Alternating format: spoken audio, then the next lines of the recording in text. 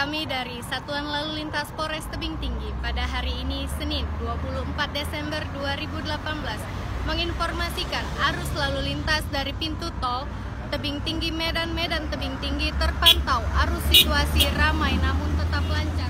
Kami juga menginformasikan bahwasanya uh, tol pintu Tebing Tinggi Medan Medan Tebing Tinggi beroperasi mulai hari ini 24 Desember 2018 dengan 2 Januari 2019 pukul 21.00 WIB.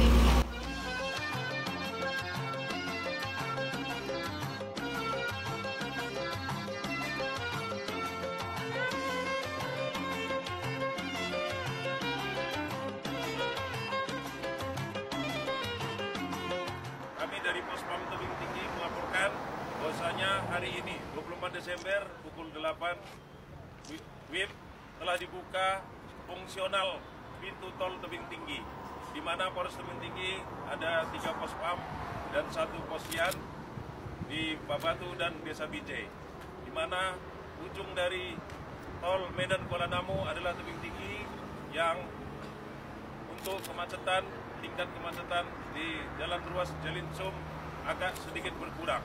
Namun kami dari Polres Tebing Tinggi dengan sinergitas TNI Polri dan stakeholder yang ada kami akan melayani masyarakat untuk jalur mudik Natal dan Tahun Baru 2019. Terima kasih. Horas! Lama sudah tidak